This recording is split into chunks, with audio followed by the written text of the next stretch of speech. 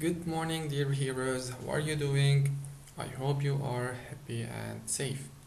So, today we are going to continue our reading lesson, which is Eid al Fitr and Eid al Adha, part number two, on page number 92 in your reading books.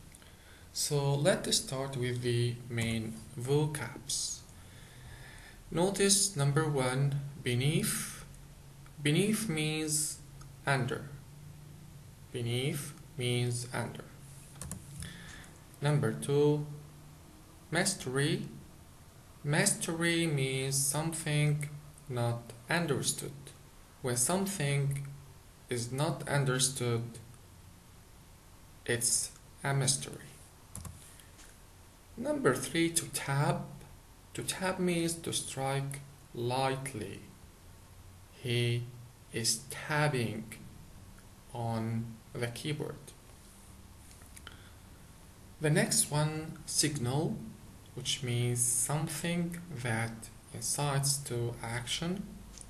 And the last one, to concentrate, means to focus, like this student.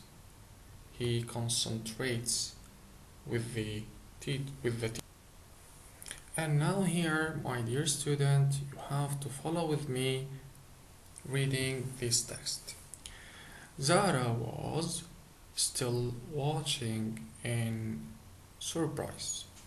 He wondered what those lights beneath him were different shapes different colors sometimes they shone. Then the air was filled with smoke. There must be something wrong, he said to himself. I have to know what that is. It's not the first time I see such things coming up from Earth. Zara decided to solve the mystery. But how? He thought to himself as he tapped the keys of his computer. Suddenly, he saw signals on the screen.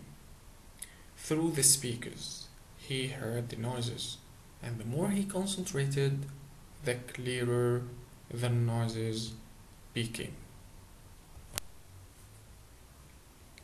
Okay, dear, here is the homework. You have to read the text and then to decide if the sentence is true or false. Number one, Zara was watching in a horror. Is this true or false?